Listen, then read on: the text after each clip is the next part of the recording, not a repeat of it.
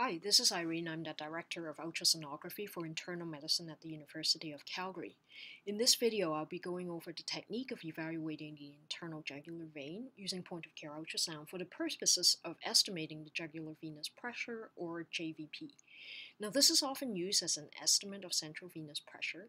I won't be going over the pros and cons and interpretation issues of that for this video. Instead, I'm going to go over only the technique on how to do the examination and the common pitfalls. I'm also going to assume that you know how to examine the internal jugular vein at the bedside, and if you're not familiar, there are a number of resources that you can turn to. When we're looking for at the jugular vein, we're typically looking for the highest point in which the pulsations could be seen, um, and that's usually during the expiratory phase. What ultrasound can do is to help you identify that point of collapse um, visually by correlating it with the sonographic exam. So here is a longitudinal view of the internal jugular vein, and the point of collapse can be seen here by this big arrow. How to do this exam? You should start out doing a transverse plane with the, with the uh, transducer marker towards the patient's right.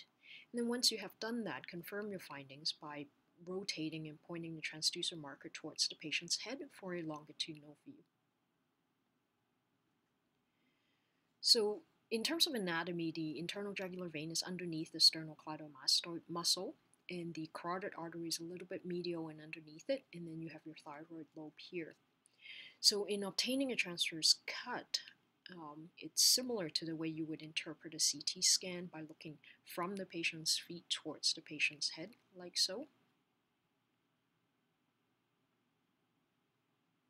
And what you'll see is that the jugular vein is, tends to be on the left-hand side of the screen, the, the carotid is to the right or just beneath it, and then you have your thyroid lobe.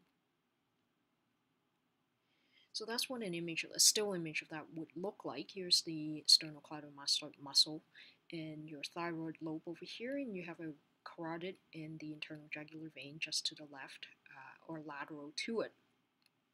The differences between an internal jugular vein and a carotid can be seen um, in that the carotid tends to be a bit more circular in shape, whereas the internal jugular vein is less so. And another features that differentiate between the two include the fact that the internal jugular vein tends to be biphasic in nature, whereas the carotid is unilateral pulsations. And another feature that I commonly use is the compressibility. So the internal jugular vein is compressible at the bedside with when you press on with the transducer, whereas the carotid artery is less compressible or not compressible. Now, I won't be going over all the features or differentiating features between the carotid artery or the internal jugular vein. Um, a future video will cover that, um, but suffice it to say, use as many of these maneuvers as you can, uh, including but not limited to the hepatojugular reflux and Valsalva maneuvers. Once you've identified or you're convinced that you have the internal jugular vein in view, what you should do is slide your transducer towards the patient's head to identify the point of collapse where it's extremely small. So here's one where you can see that the uh, internal jugular vein is not visible at all, and this is during inspiration, and during expiration some of that actually does show up. And then you rotate your keeping your IJ in view, rotate it until you get a longitudinal view. And again, that's rotating with the transducer marker towards the patient's head. And once you've done that, slowly slide the transducer mark um, towards the patient's head to re look for the point of collapse again. And hopefully the transverse will correspond to the same point as your uh, longitudinal image. So here you can see the point of collapse is just um, off the edge of the screen right here. Um, and that would correspond to the edge of the probe right there on the in terms of surface anatomy.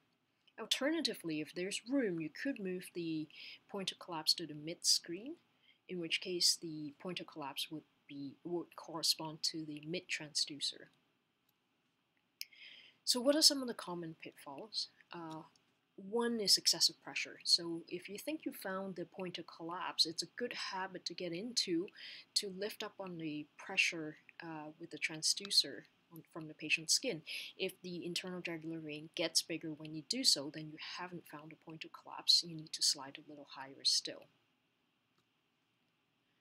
The second issue to watch out for is not imaging the internal jugular vein at its widest diameter. So if you image the sides of the internal jugular vein, it will look very, very collapsed and very, very small. Um, so what you need to try to do is to try to image it at its widest diameter. The third potential issue is heel toeing. So if you have excessive pressure on one end of the transducer over the other, you can actually potentially create a false apex.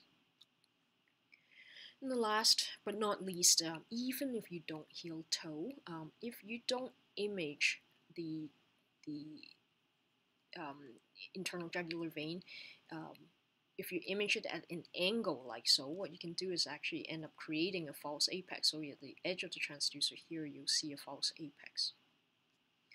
So that's it. The take-home messages are when you do image the IJ, make sure you do so in two planes. Find a point of collapse and correlate it to the patient's um, surface anatomy. And that would be the point in which you measure your JVP from. Be careful in terms of the, the amount of pressure you exert on the transducer uh, on the patient's skin. Try not to heel toe. Image the IJ at its widest diameter and avoid foreshortening. And thanks for tuning in.